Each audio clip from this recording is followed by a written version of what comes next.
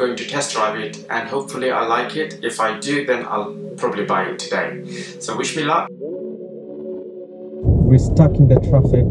I don't know if I could make it on time. It's not even moving, it's moving like five miles an hour.